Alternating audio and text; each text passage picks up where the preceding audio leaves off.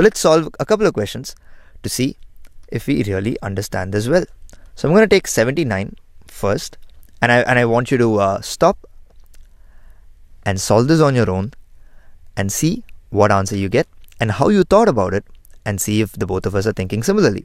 So when I look at 79 in my brain, I'm going, okay, 79 is bigger than 1, bigger than 5, bigger than 10, bigger than 50, but not bigger than 100. So I'll definitely need a 50 to denote this number in the Roman numeral. So I'll write an L. So now I know I've represented this 79 as 50 plus, maybe I should write the plus here, plus some 29. And I can forget about this 50 because I've already written L for it. Now I need to represent this 29. So what, what am I doing? I can I can forget that I started with 79 and all that. Now I, all I have to care about is 29 and whatever I get added to this. So I look at 29, do the same thing. Bigger than 1, bigger than 5, bigger than 10, but less than 50. So it's between 10 and 50. How many 10s are there? There are two 10s. So I'm going to write x, x. And now I know I've brought this down to this 29. I've written it as 20 plus 9 and I can forget about this 20. Now I have 9.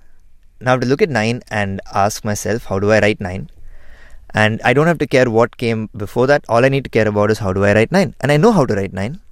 9 is ix. That's how I write it. So I'm going to write 9 as ix. And I'm showing this separately so you can see that this alone is written in the subtractive notation. So how do you read this number?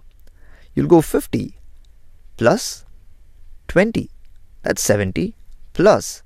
Oh, when you come here, you'll be like, oh, this is not 21. But if this number had only been this much, you would have said, that's 50 plus 20 plus 1, 71. But then when I add this here, then you can see it's 1 less than 10. That's 9. So 79. And I hope you this is the same thought process that you used as well, or maybe a better one. This 49 is very interesting. I mean, I was tempted when I saw 49, my temptation was to write I L. Like, why not? 1 less than 50. It turns out that we do not do this. Like, like we said, we only use subtractive notation for these numbers 4, 9, 40, 90 or 400, 900. So how do I think about this number? I can look at this number and go, okay, this is less than 50, greater than 10 and it has 4 tens in it. What is 40? And this is where it can get a little tricky at first. What is 40? I want I know I have to write 40 as XL. So I'll write X L for 40 and then I know that I've written this number as 40 plus 9 and I've already shown what this 40 is. Now let's give a different color for 9. Now how do we we don't we can forget about this 40. That's what is XL over here. What is 9? I already know how to write 9. That's IX. So I write IX over here. So XLIX will be 49.